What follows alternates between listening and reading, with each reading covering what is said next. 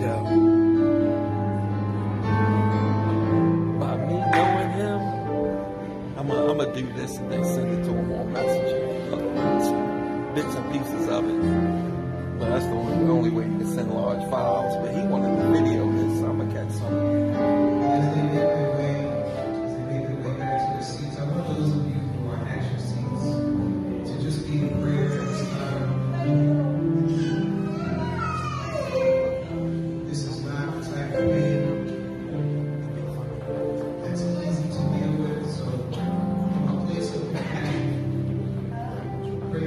for suffering.